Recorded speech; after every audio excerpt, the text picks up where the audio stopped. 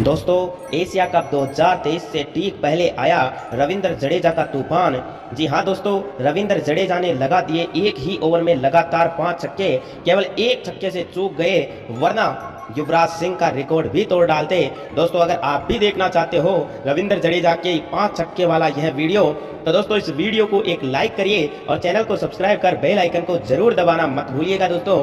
दोस्तों, इस समय भारतीय टीम एशिया कप की तैयारी में है और भारतीय टीम इस बार पक्का चाहेगी आठवीं बार एशिया कप का खिताब अपने नाम करना, क्योंकि सबसे ज़्यादा एशिया कप का खिताब भारतीय टीम ने ही जीते हैं। सातवीं बार, दोस्तों, भारतीय टीम का मुकाबला पाकिस्तान के खिलाफ होगा और वो होगा 2 सितंबर 2023 को।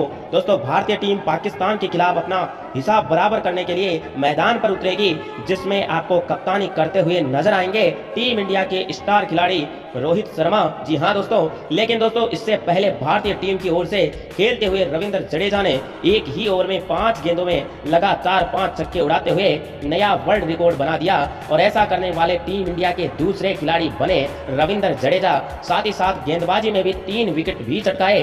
दोस्तों, हुआ कुछ ऐसा की आखिरी गेंद पर चूक गए, वरना एक ओवर में सबसे ज़्यादा रन बनाने का रिकॉर्ड बन जाता और युवराज सिंह के बाद में बनाने वाले, लगातार छह छक्के लगाने वाले दूसरे खिलाड़ी बन जाते। तो दोस्तों, आशा करते हैं कि हमारे द्वारा दी गई जानकारी आपको अच्छी लगी होगी। अगर अच्छी लगी हो, इस वीडियो को ज़्यादा से ज़्यादा लाइक करके शेयर कर दीजिएगा।